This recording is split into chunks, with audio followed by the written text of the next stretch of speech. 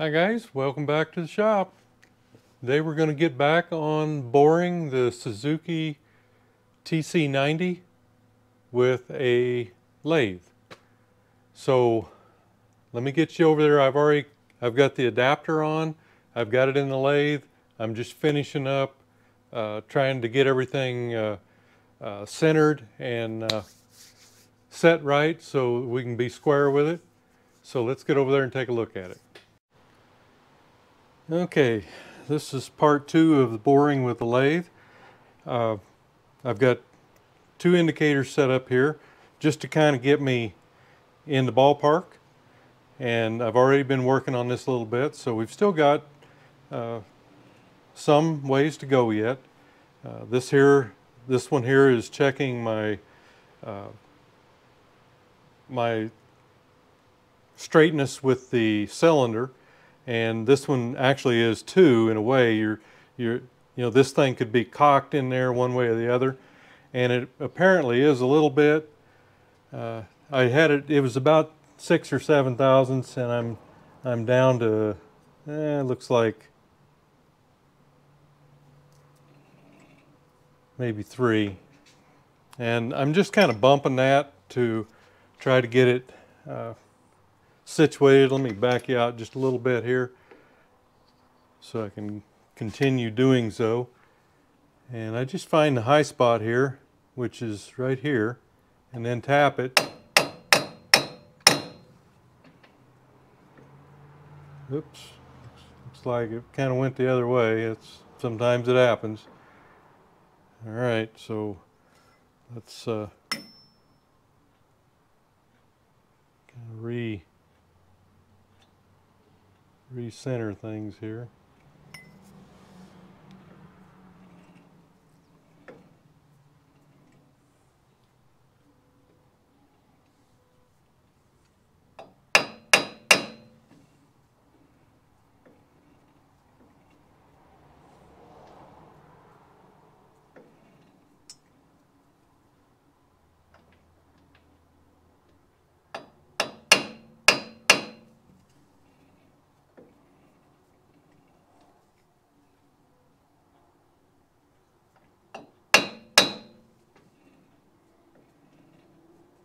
Okay, I'm going to work on the other one a little bit now.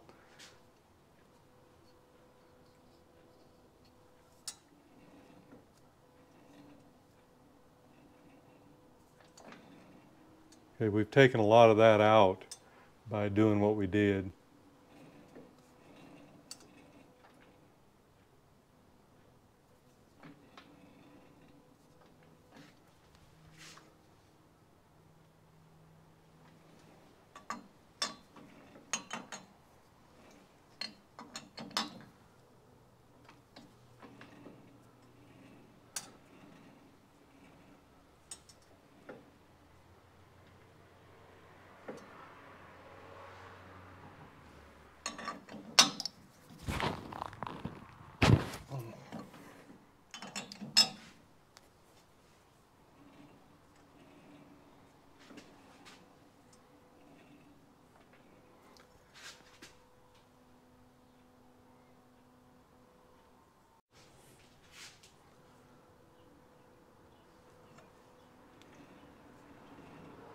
I did some pretty good work there, looks like.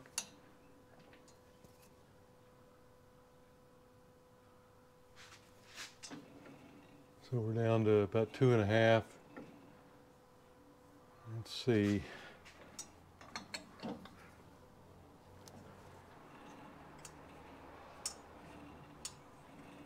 Okay, now we're down to about one and a half, I think. About one. And get a broader view here. Let me uh, take away the magnification. Okay.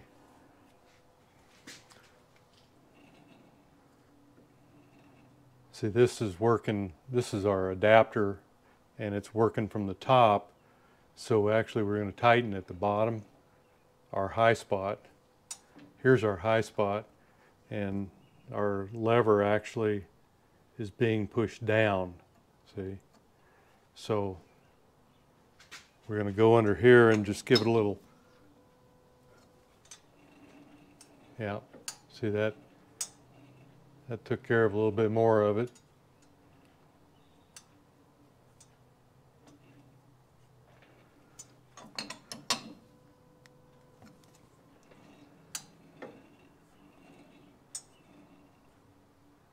We're still at about a half thousandths on the this one here, and our other one is uh, uh, about three. It looks like. So we've got still some work to do there.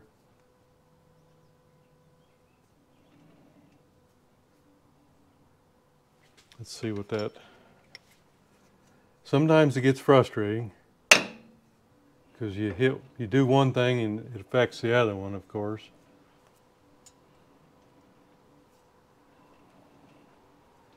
I don't know that's that's looking pretty close.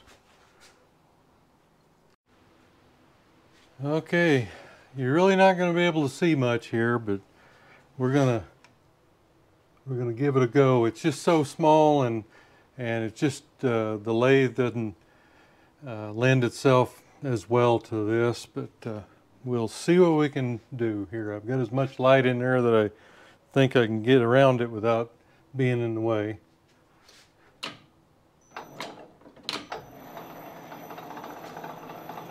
And the oblongness is the plate, not the cylinder. The cylinder is square.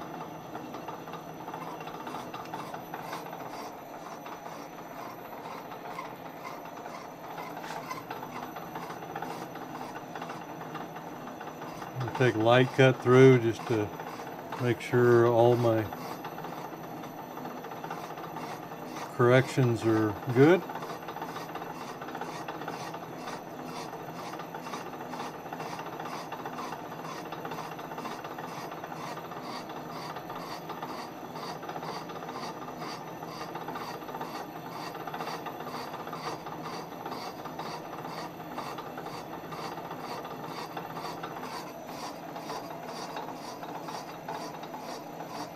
Course all the, when we were centering it, we were using the, the top about an eighth of an inch.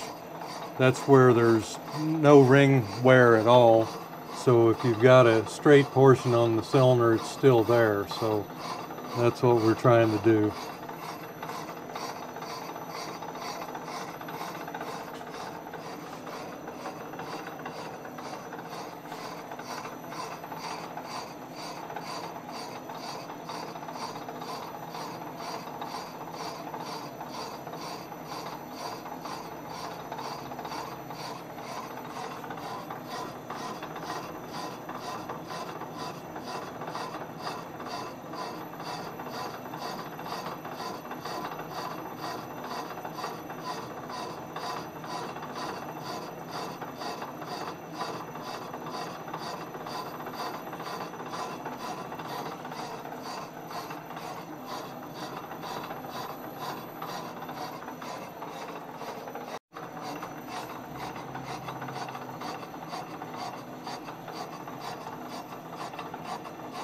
Uh, getting down towards the middle now, that's where most of the wear should be, so you don't hear as much uh, cutting going on there.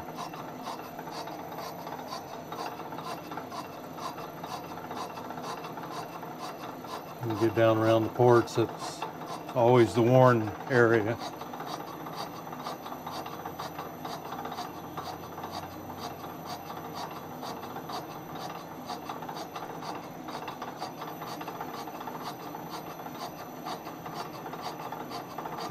Through this time, I'm going to probably use a, a, different gear. This one's getting a little, I, you hear a little rattling. That's the uh, play in the gears. I'm going too slow for the speed I'm in.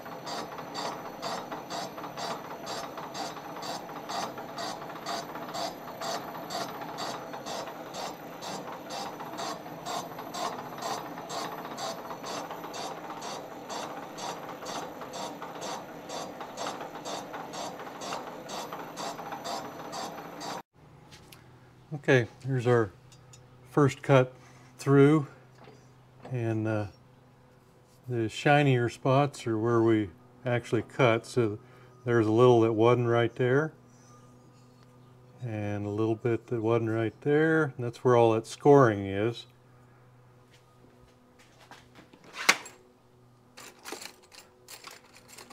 See if I can get something here where I don't have my big fat finger in there now right in here was the scoring. You can still see it. So a little, it's just taking a little bit. So the wear areas are a little bit beyond where we're cutting so far. And it looks like it's pretty universal all the way down. And of course at the bottom, we do uh, more of a cut. I don't know where I can get you in there any further.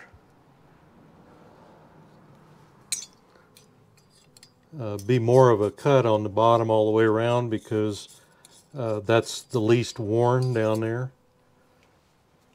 So I think we're doing okay, but there's just not much to see here, guys. Sorry.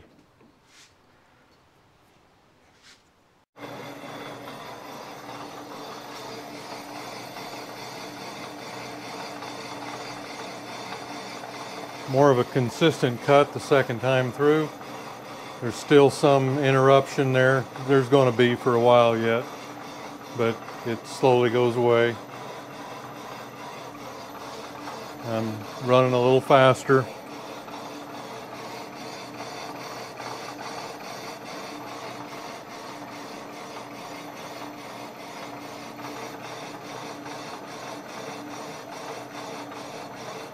And we get down towards the middle, it uh, gets into the wear area again, so it's more interrupted there.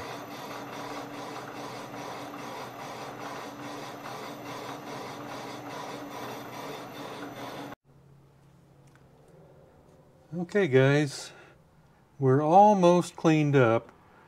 Got a little bit right here. And there's a little bit right here. And this is the worst area right here and uh, if you I kind of I don't know whether this is going to work putting that light back there or not. Uh, still got one pretty good uh, score right there and over here just a little bit but I believe that'll probably come out next time around. It's getting real close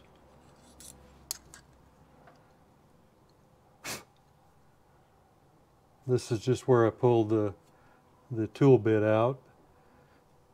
So I, I think here pretty quick we're gonna we're gonna clean up completely. If not this one, probably the next one. It's just so hard to see anything in there and I'm not sure what you're seeing. I won't know until I review it.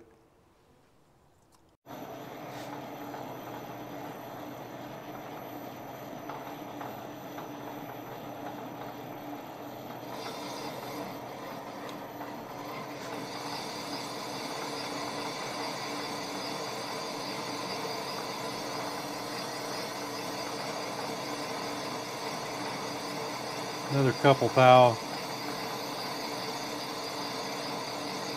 Probably be pretty close to cleaning up this time through.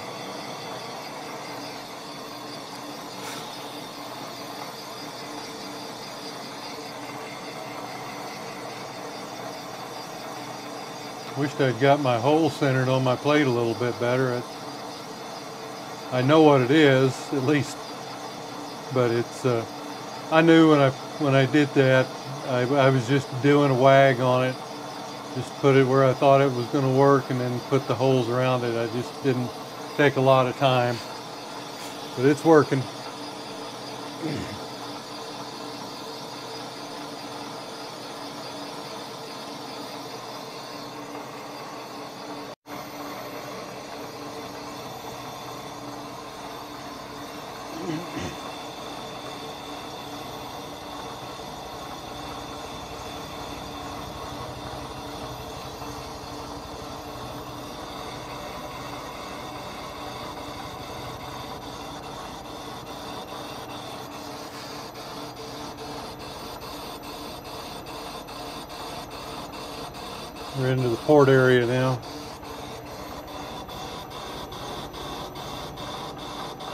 Basically got two places that we're getting interrupted cut in now, and that's the port area and the the very bottom, the skirt, where you've got, uh, you know, it's divided down there.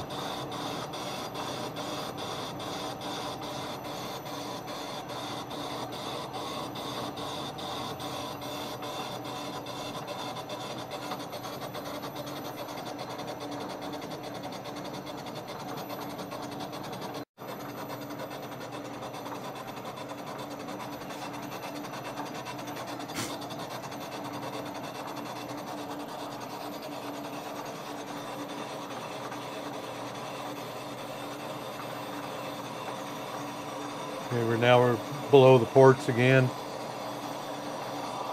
So the next interrupted cut will be the where you've got the two scallops on each side there.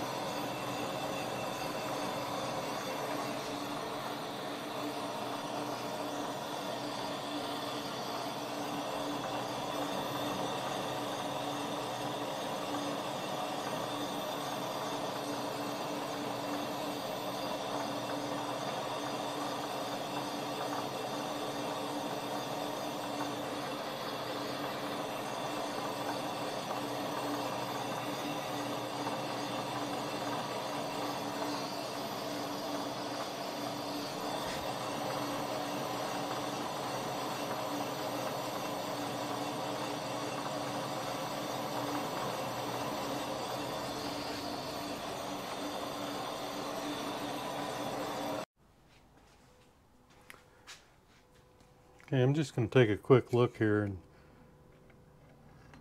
see where we're see where we're at. I'm not worried about size too much right now. I'm just checking to make sure I'm got about the same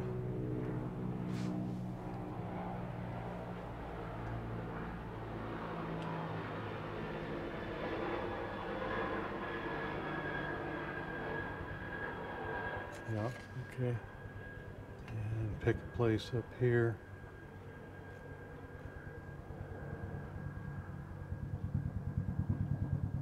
Yeah, we're pretty straight. Okay, so that's my only concern at the moment, just to make sure we're uh,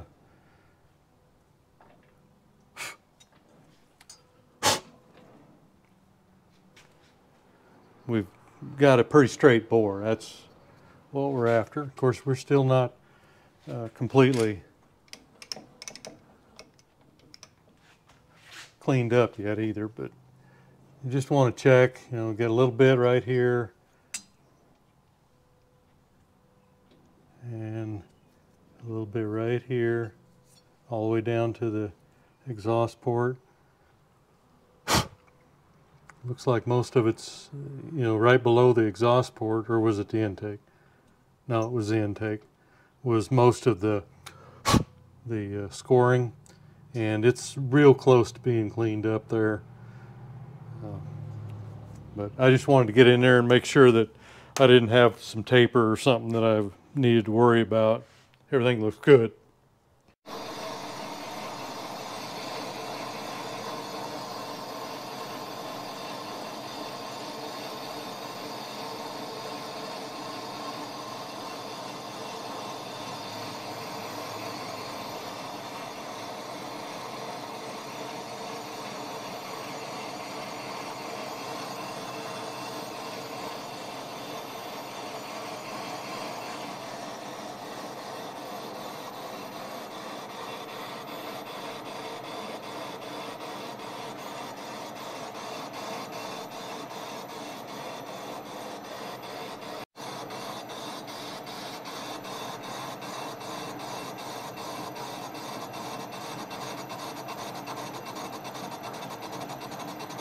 In the ports.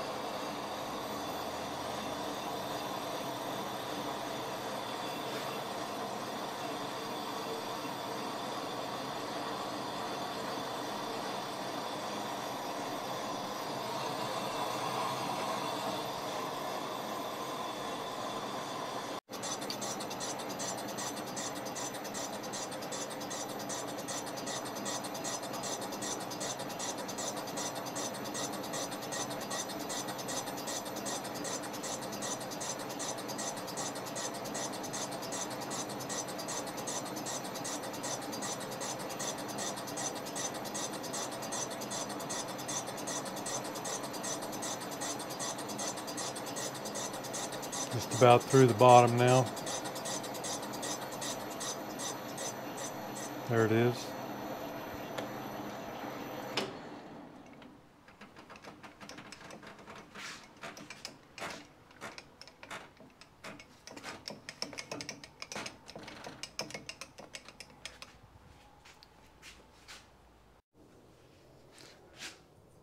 Okay guys, we just cleaned up this last pass. Looks like everything is good to go. Everything looks good in there. And we uh,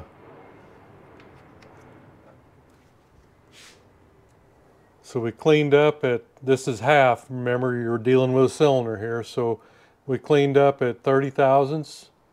So we've got another uh, almost five before we get to the piston size. And then we'll start uh, putting our uh, our clearance in, but we'll we'll do most of that on the on the uh, hone. But it did take uh, right at 30 thousandths to uh, to clean it up. So uh, 20 thousandths is basically your half millimeter and 40 thousandths is your uh, one millimeter over.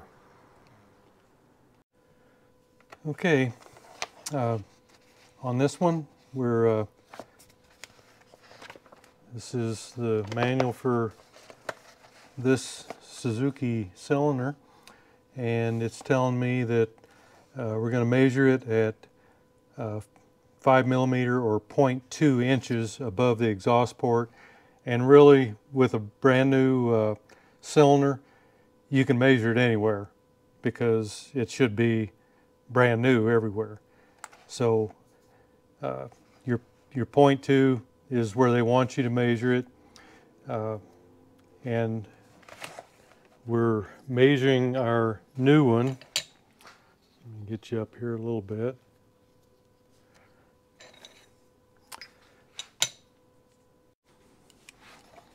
Okay, they're also saying to measure our piston. Uh, the piston measurement at 20 millimeters, 0.787 above the skirt. And that would be like right here. So we're to we're to mark that. Kind of hard to hold it and everything here, but that's just a little bit higher than that.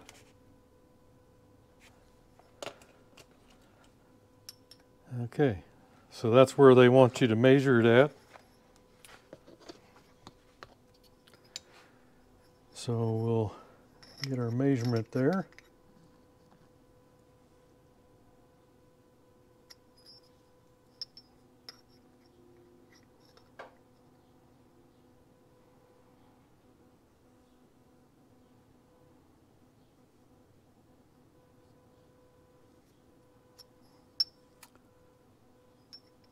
Okay, so we're at 1.885.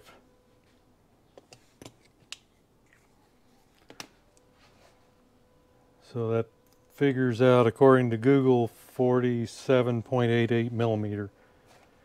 And I think our, let's see, the original, yeah, the original bore size is uh, 47 to just a little bit over. So let me plug all that into my dial bore gauge. Okay, I've just set my bore gauge up and I'm going to double check it now with the mic.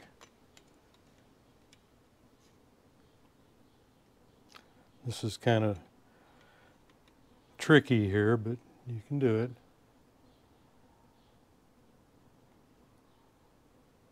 Okay, there we go. Right at it. So now we'll go check the cylinder. Okay, let's uh, take a down and dirty reading here.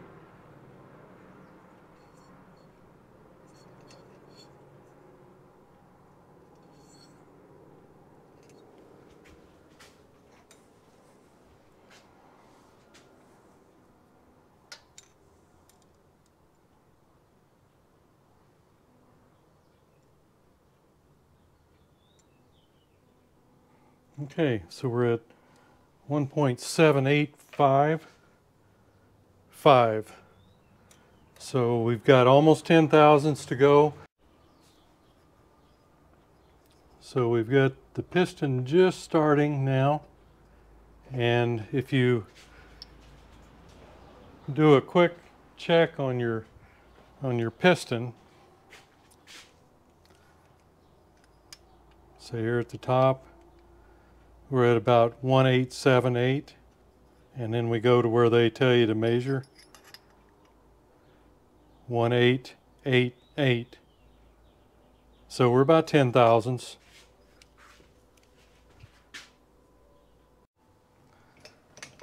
So let's come up and take another two I guess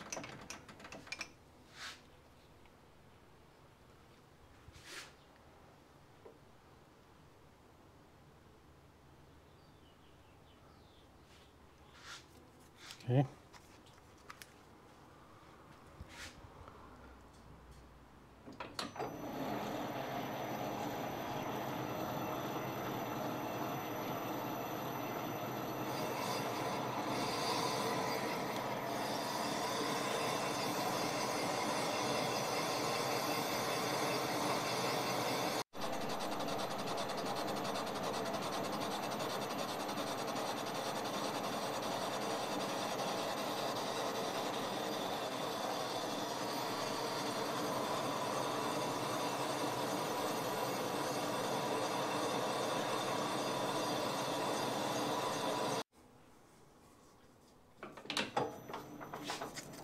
Just going to hit it with a little sandpaper right here at the edge on the top, just to clean that up. See where we're at here. Yeah. Okay. I usually, when I get to the top of the pin, that's when I start honing. So that probably another couple thou, maybe three.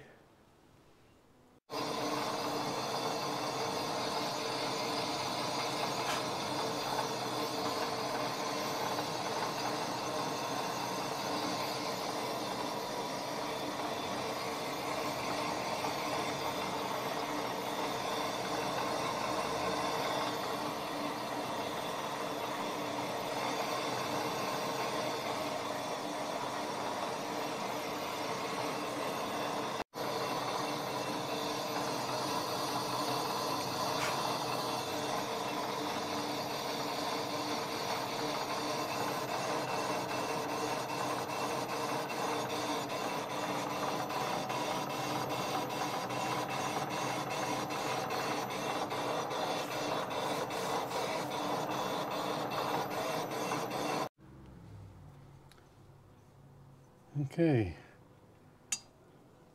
We're just about to the point where we're going to start honing. I've got I'm almost to the pin.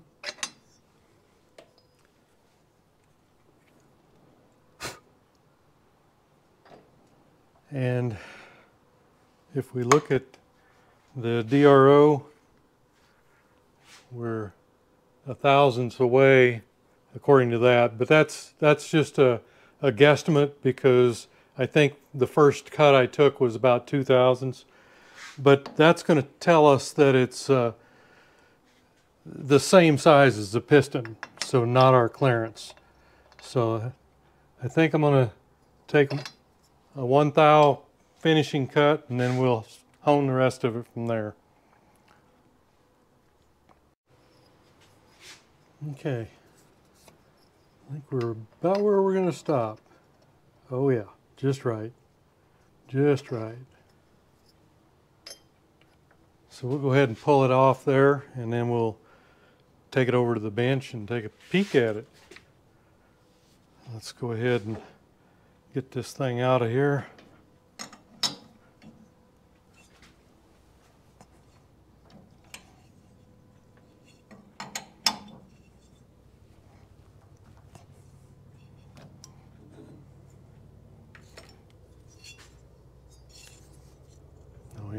Looks nice.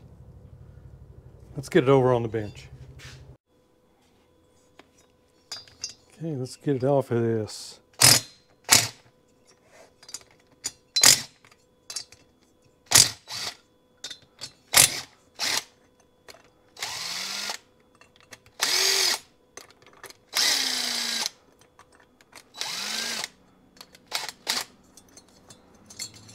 There we go.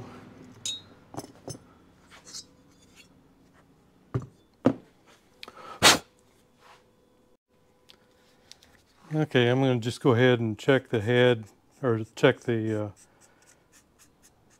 uh, flatness here. And then we'll get on with checking the bore. So I always like to do this. Just make sure everything's good to go.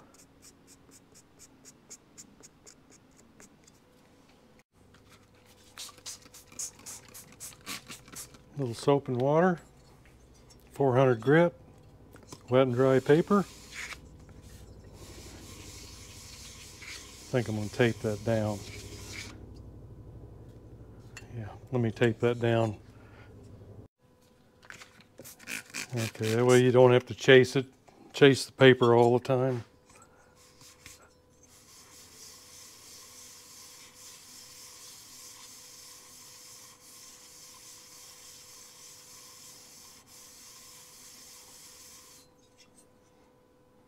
Yeah, it needs a little.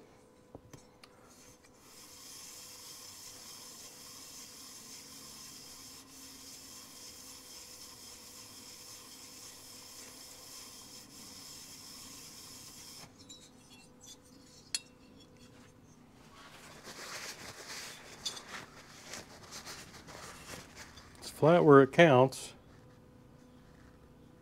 Right there. We'll see if we can improve on it a little.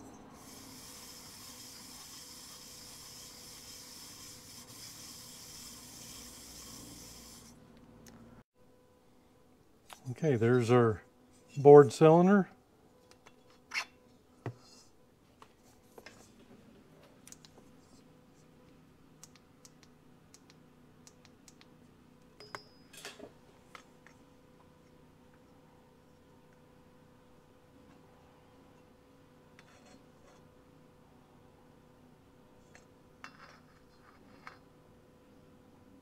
Looks pretty good.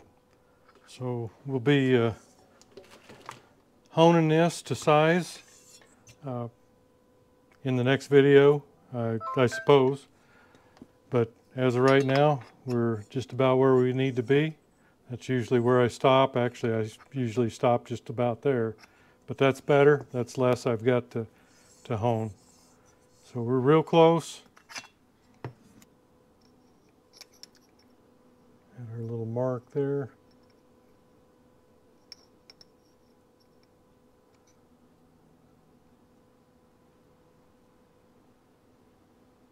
Yeah, 188. 5. So we've got a, a thousandths before we're at the same size, and then we've got to put two to two and a half thousandths clearance in. So we're, we'll be taking out uh, about three or four thousandths with the with the hone, but cleaned up pretty nice. Uh, just couldn't have done it at uh, at a half a millimeter because it it was uh, ten thousandths over that before it cleaned up. So this is the best we could do. Uh, just there was just too much in the uh, in the scoring, but it's all cleaned up now.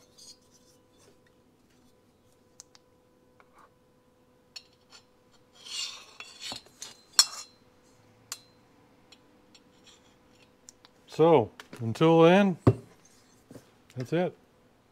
Okay guys, there you have it.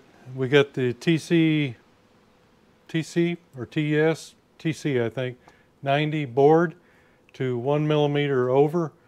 Uh, we've still got to uh, go ahead and hone and fit, uh, but that'll be in the next one. You can see that the doing this in the lathe is a lot more time consuming. Not only do you have to make the jig, actually we were lucky that we had one already and just had to modify it a little bit. But if you had to do that, uh, you'd probably have another, I don't know, couple hours in it. And, you know, you just, it's really tough when you're doing little ones like this. This is the only way I can do it. If you had a, a regular motorcycle boring machine, you could probably do that in, uh, you know, 15, 20 minutes. Took me probably an hour and 15 minutes. And, you know, I'm, I'm really cautious when I do it. I, I really take my time trying to set everything up. And, uh, you know, it just, it just takes time. And uh, the right equipment would make the job a lot easier, but at seven or eight thousand dollars for one of those boring machines, I elected to buy a milling machine. I can do a lot more with it, and uh, uh, I can go ahead and bore these little ones like this in the lathe if I need to. So hey, thanks for going along on the ride, and we'll see you next video.